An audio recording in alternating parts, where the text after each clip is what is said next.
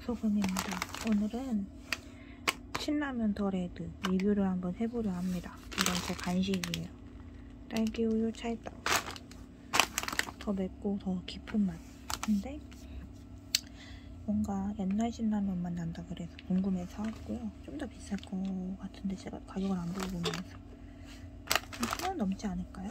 1,500원 정도 하지 않을까 모르겠어 몽테는 좀쌀 거예요. 그리고 저는 이제 물에다가 이렇게 붙었어. 떼자. 쇠물이고 냄비 씻은 건데 오해하지 마세요. 요것만 안 떨어졌나 봐. 더러워. 떼내자. 긁어서 빼냈어. 일단 쇠물에다가 고춧가루 풀고 후추 좀 넣은 거예요. 이 상태로다가 너무 맛있 그냥 라면도 맛있거든요. 그냥 맛도. 근데 요거 궁금해 사왔으니까 한번 먹고 제대로 리뷰를 하도록 하겠습니다.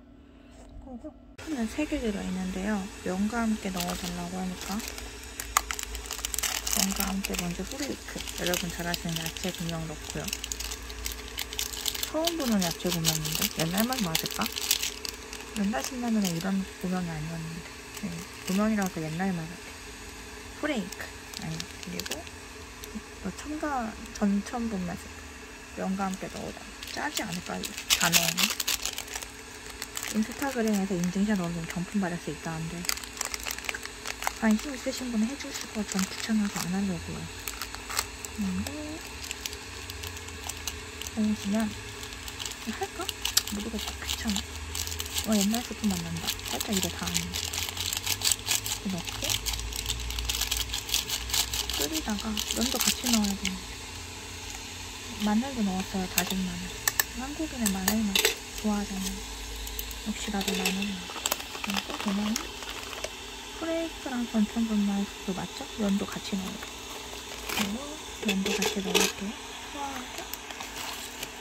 가루도 넣고 물을 끈 다음에 이걸 넣고 비, 음, 잘 저어 먹으면 된대요. 한번 끓여봅시다. 시키는 대로 하자. 마늘 맛있어. 끓어서 이제 쓸게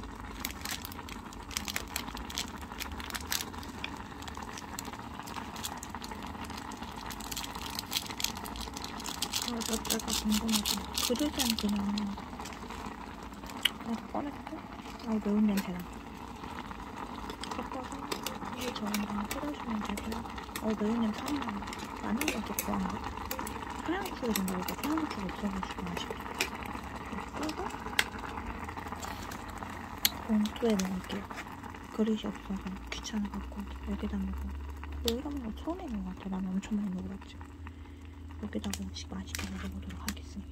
안 돼, 이게 조심조심.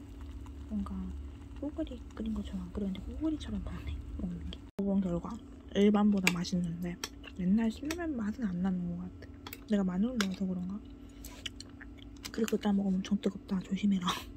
에이스 2천원 다 돼있나 조심해야 된다. 뽀글이 먹는 군인분들 대단합니다. 엄청 뜨거워요. 어, 그리고 매워. 근데 맛은 엄청 있어.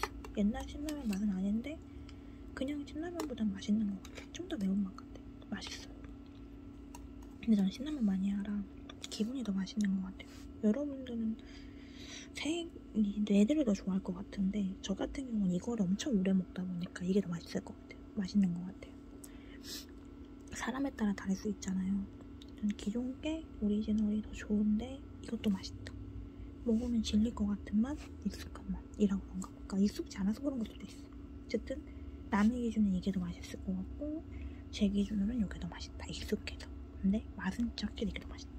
라는 게 결론입니다. 헷갈리게 해주자면 어쨌든 맛있다. 오늘의 결말 신라면 도래도 타드레오 맛있어요. 끝. 그거 좀 남은 매실, 네. 매실 주스. 초록 매실. 또 얼음 탄 거. 잘 어울려요. 먹고 남았던 순두부찌개 여기서 마무리 밥하고 말아서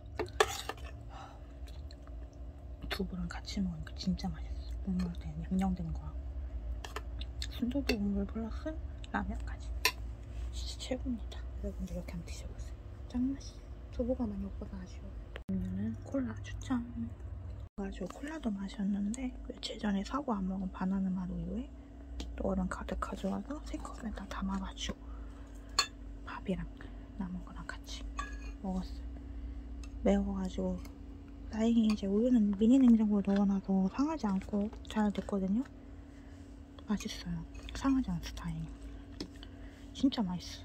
아, 대박 여러분. 순두부에 라면에 밥장 진짜 최고.